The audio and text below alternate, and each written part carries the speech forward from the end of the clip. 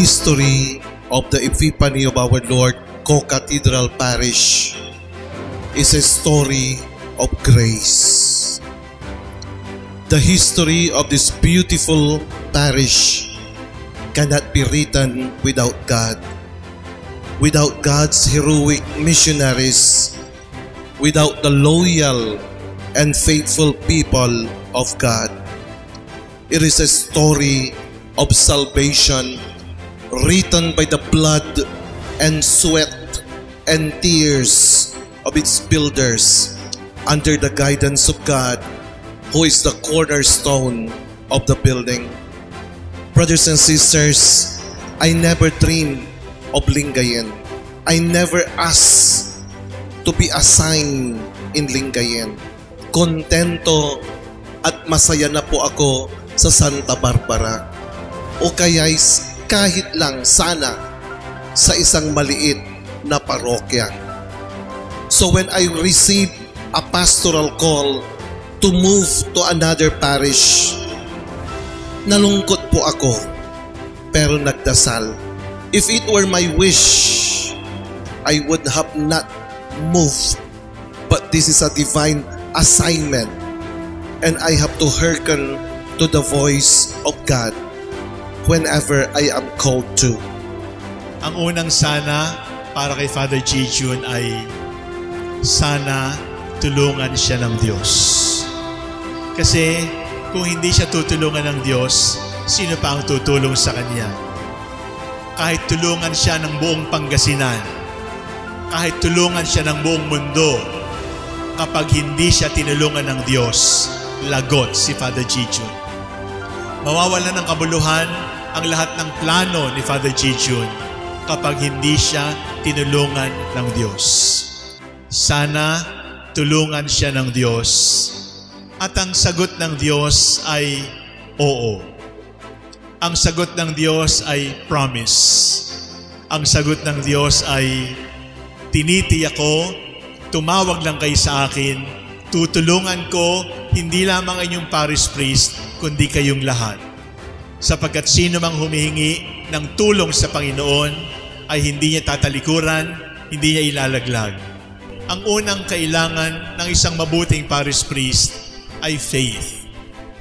Faith in God. Faith in the Lord because our help is in the name of the Lord.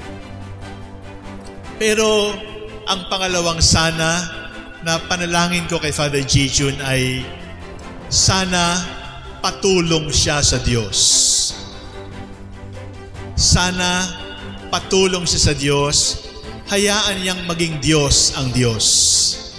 Hayaan niya na makilala na kami bilang mga pastol ay mahihina at ang lakas ng parish priest ay nasa Panginoon ang mabuting pastol. So my dear brothers and sisters in Lingayen, here I am.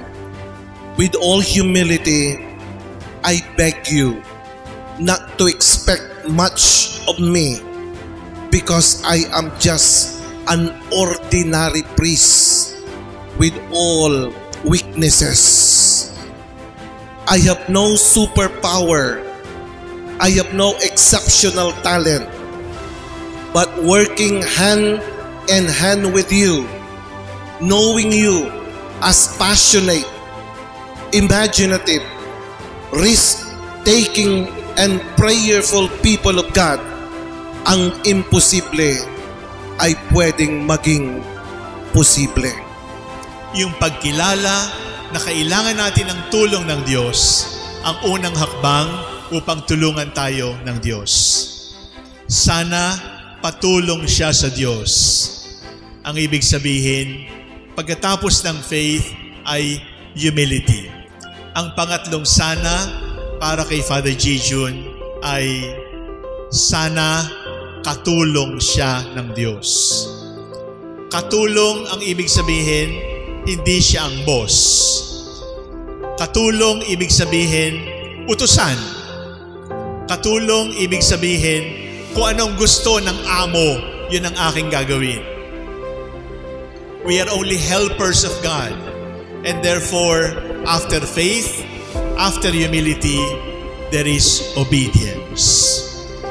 The helper is always obedient to the boss. The helper is always obedient to the master. The steward is always obedient to the owner. And the priest is always obedient to the Lord. Because it is the Lord, it is not us. Sana patulong ka sa Diyos. May you have the humility to profess that you are weak and the Lord is our strength. Sana huwag kakalimutan, katulong lamang tayo ng Diyos. And let the truth remind us about the beauty and the power of obedience. And it is obedience that saved us from sin. In the same way that it was the disobedience of Adam that brought sin into the world. Father Jijun, maraming salamat. Tutulungan ka ng Diyos, tiwala lang sa Kanya. Patulong ka sa Diyos, kababaang loob ang kailangan. Katulong tayo ng Diyos, sundin ang Kanyang kalooban. Panginoon, nandito po ako ng buong pagkukumbaba. Nagpapatulong po sa iyo. Panginoon, narito po ang iyong katulong. Nagpapatulong po sa inyo. Sana Lord, tulungan niyo po ako. Lord, sana all. Amen.